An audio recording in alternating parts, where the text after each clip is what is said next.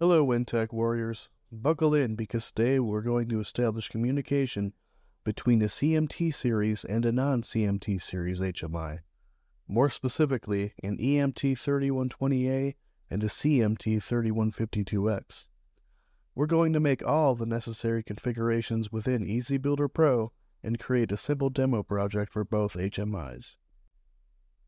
In order for these HMIs to communicate with each other, they must be on the same subnet and have their own unique IP address. For today's demo, our HMIs are communicating with each other through an Ethernet switch. Watch along as I demonstrate how to configure network settings in our CMT and non-CMT series HMIs. In our non-CMT series HMI, the Settings button is located on the bottom right of the HMI screen. After selecting this button, navigate to the Settings icon. You will be prompted to enter the HMI's password. 111111 is the default password for all Weintek HMIs. In the Network tab, you can statically assign network info like I have, or you can obtain IP address automatically via DHCP server.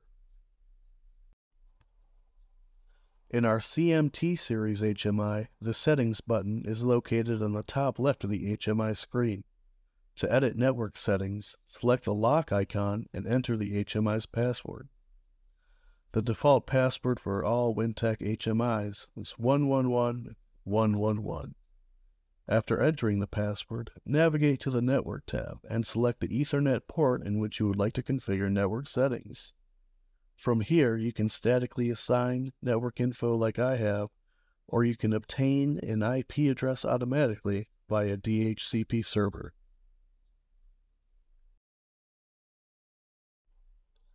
Let's make some device configurations within EasyBuilder Pro so that our HMIs can communicate. Starting with the EMT3120A, let's take a look at the system parameter settings. First, you'll want to add the remote HMI that this, the local HMI, will be communicating with. In our case, it's the CMT3152X, so we're going to select the HMI option. Next, we need to configure the IP address and port number for the remote HMI which is 192.168.1.254. Please note that the port number, 8010, must be the same when configuring both HMIs. Now that the HMI has been added and the IP address configured, let's take a look at the Model tab. Because our remote HMI is a CMTX series, we will want to enable the Support CMT CMTX communication protocol option. Our port number should be auto-populated. For demonstration purposes, we will be using a VNC client to view this HMI. Let's head over to the Remote tab to enable VNC capabilities. I'm going to select Password Free for this demonstration.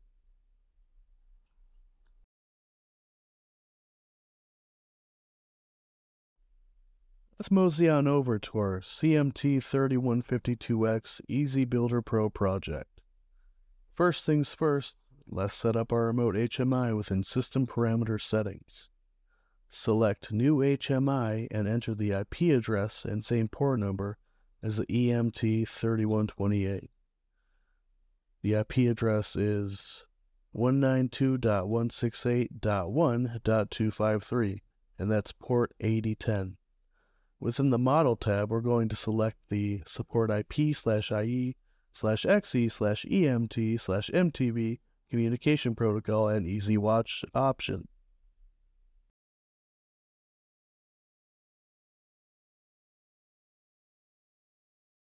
I've created demo projects for both HMIs. These projects showcase how the two HMIs that are CMT and non-CMT series models communicate successfully. On the EMT3120A, I've added a toggle switch that is addressed to LB1 on the remote HMI, the CMT3152X. When toggled, the switch will change the state of a bit lamp on the remote HMI. I've also added a bit lamp locally addressed to LB0. The state of this bit lamp will change when triggered by a toggle switch on the remote HMI.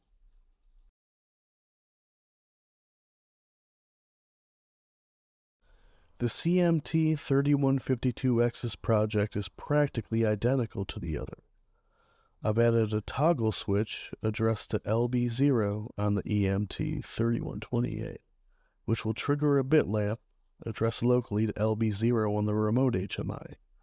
I've also added a bit lamp locally addressed to LB1. It will be triggered by a toggle switch addressed to LB1 on the EMT3120A.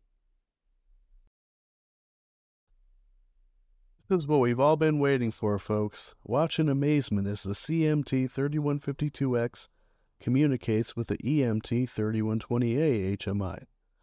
I'm using the VNC client Ultra VNC to view the EMT series HMI, and I'm using CMT Viewer to view our CMT 3152X. Behold the magic that happens when I trigger LB0 on the CMTX series HMI the bit lamp on the EMT series HMI lights right up. Brace yourselves for this sorcery. The bit lamp on the CMTX series HMI changes state when the LB1 switch is toggled on the EMT series HMI. The two HMIs, despite their differences, successfully communicate with each other. Thanks for watching. If you found this video helpful, head on over to our channel for more great technical tutorials. And come on down to our forum, it's a great resource for everything Weintek.